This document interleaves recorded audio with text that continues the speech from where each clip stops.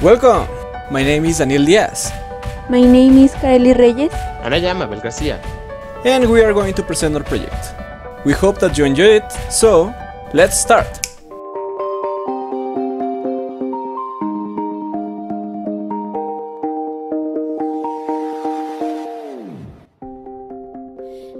We all know traditional bicycles. Yes, those with chain drives. I am sure we have all used them at some time. But what if I told you that there are bicycles without chains? How will you react?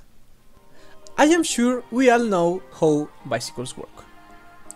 When you turn the pedals, the chain turns. Therefore, a movement is created.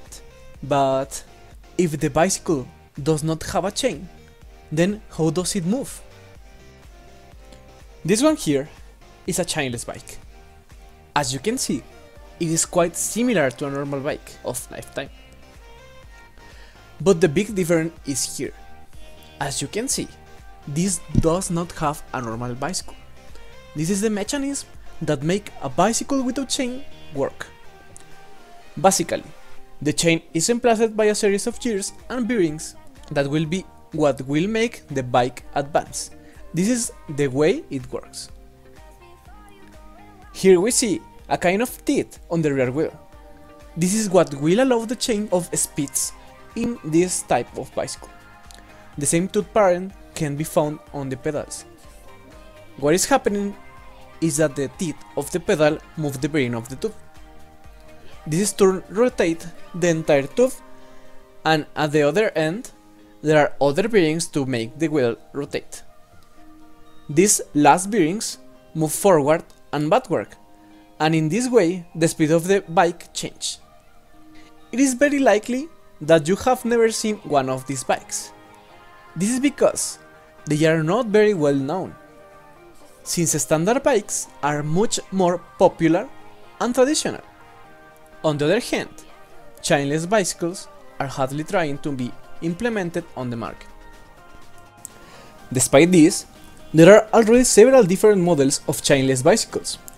Although the one we have just seen is the most popular, there are those that use type of pulley, also the ones with the pedals directly on the rear rim, even this one that mix a treadmill and a bike. This one can help a little to take more speed due to the shape it has, and even this looks interesting. Uh, well, we have to admit that there are also some that don't have the best design. But well, despite all these models, today we will focus on one in specific. This mechanism that we see here is known as cardan shaft. It is better known for being used on motorcycles, although it can also be used on bicycles. However, it has its pros and cons, like everything. And this is where this video comes in. Here, we will explain certain things about the cardan shaft, and we will say what is not so used in bicycles, as well as some of our ideas to create a better bicycle. Well, a bicycle with axle transmission, or also called with current transmission or bicycle without chain, is characterized by using a transmission axis instead of a chain to carry the power of the pedals to the rear wheel. It consists of a series of gears on different shafts strategically placed to transmit the movement of the pedal to the wheel. It is a valuable option because the maintenance of this type of bicycle is minimal, so it is a less expense to your wallet it is less likely to break and it makes less noise, and actually is a much safer system for the driver. Indeed, the first drive axle for bicycles seems to have independently invented in 1890 in the United States. And you would probably wonder if they were created more than a century ago, I haven't seen them on the street or uh, in a store. Well, this is because the cardan has only one speed, the power required to move it was too much and, unlike the current bicycles, it is much more expensive. In addition, if it breaks it's much more complicated and almost impossible to repair.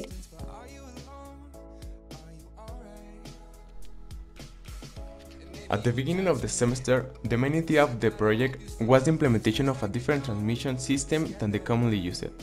The real purpose of this system was merely aesthetic and without any addition to the use of the bicycle.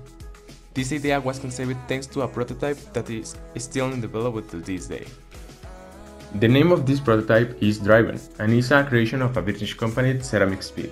This idea was presented to the world in 2018, using a system of bearings and quite peculiar shafts that allowed its operation. Well, with this idea, we start working in the production of a new system. The first prototypes made for the transmission change were quickly scrapped. The reason of that were its complexity of construction and the high cost. However, the first design that was carried out was the child bike. This prototype was changed due to some recommendations received from experts who were helping in the development of the project, giving an aesthetic and a functional change to the prototype. Thanks to this, chainless bike emerged. With the new prototype, an aesthetic improvement was sought, the addition of a speed disc and above all, a total adaptability to any type of commercial bicycle are achieving a quite promising model that meets some of the requirements that we were looking for. Now, for the creation of the mechanism, different pieces were designed, such as the chain ring. That is an helical gear located on the pedals and it has 72 teeth. Then, next to the chain ring, there is another smaller helical gear which serves to change the axis of movement and it has 21 teeth. Fixed to the smaller helical gear, there is another one which changes the axis of rotation and it comes with 12 teeth. The movement passes through a worm screw to two pieces equal to the two mentioned above. And then, on the back, replacing the gear star, there is an helical gear with different sizes, simulating the different speeds, each one with 72, 60, and 14 teeth, respectively. Subsequent analysis let us note that we were talking the wrong way for the current realization of this innovation. From this point, we start with an exhaustive analysis of the system involved, finding data to be considered in the future, based on the difference between the use of a chain system, one per band, and finally one per gimbal, being the last one the most stricken due to different factors that made it stand out from the rest. The durability, little maintenance, and reduction of risk factors show it as the best mechanism to be modified. Taking into account the advantages that each system presents, the research, design, and proposal were started to carry out the implementation of the new system that offers the great number of advantages of each system. Taking the advantage of the chain, which is economic, efficient, and globally used,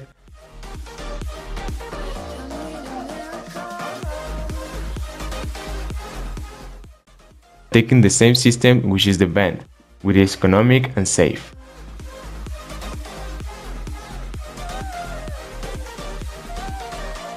And taking the advantage of the cardan that is minimum maintenance, less noise and lower probability of rupture.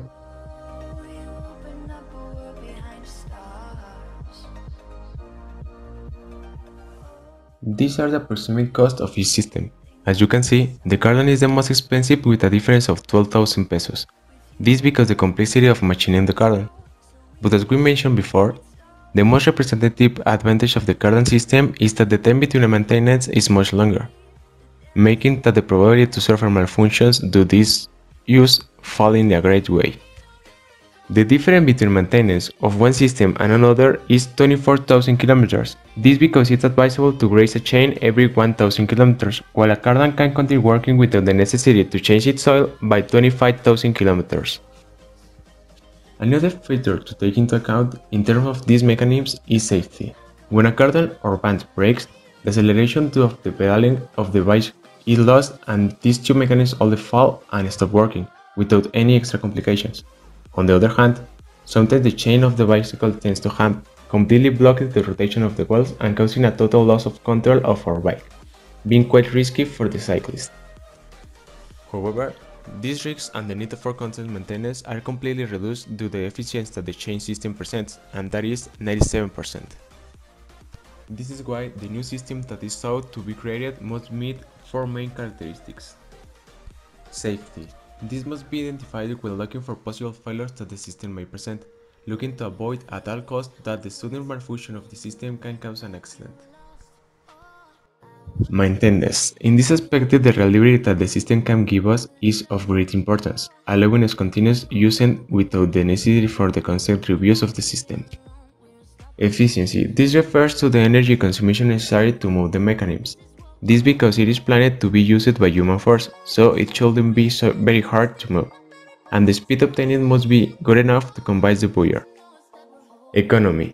In this aspect, we take into account that the mentioned aspects will strongly influence the cost that the system will have. This because improving all systems and at the same time its cost don't pass a lot of the cost of the chain will entail a great deal of research. However, the ones calculated until today are 2000 and 3000 pesos, considering the previous prototypes that we made and the cost in the raw material and machining that they present. To produce the parts, we will use the CNC machine and the turnstile to cut the metal and give it the form that allows the correct function of the mechanisms. In this way, the first part of the mechanism is going to be created by the CNC machine given the main form of each part. After it, the turnstile is going to make the final details of the helical gears and the plate. We decided to work with helical gears because they allow gear operation to run smoother and quieter compared to spur gears or sprockets. Also, the helical gears are more durable and are ideal for high load operations as they have more teeth in contact. Load at any time is distributed in several axes, which generates less wear.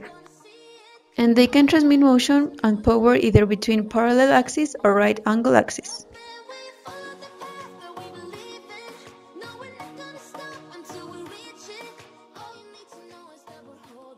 This is a resistant material, rigid and it has certain flexibility that makes it more comfortable and absorbs vibration on the road. It's not the lightest material, although there are currently lighter but more expensive alloys. Most of the time it can be fixed if it breaks, and it does not usually lose properties over time. It is a light material compared to steel, usually a little bit expensive and it weighs 50% less than steel. In addition, aluminum has other alloys, this in order to make it more resistant since when it breaks it's almost impossible to repair it. The aluminum is a material easy to work with and it has a useful life cycle more or less long depending on the intensity with which the bicycle is used. In addition, since it's not a corrosive material, the paint becomes a decorative element.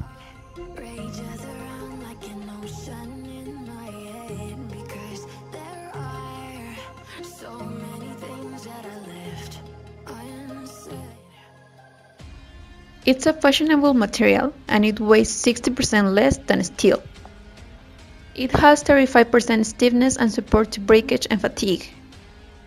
It has a better shock absorber and starting from the mold or joining the tubes in two or three ways. It can have strange shapes. It is an extremely moldable material. It is almost 5 to 10 times more expensive than steel, and carbon can be broken if a force is applied at a specified point.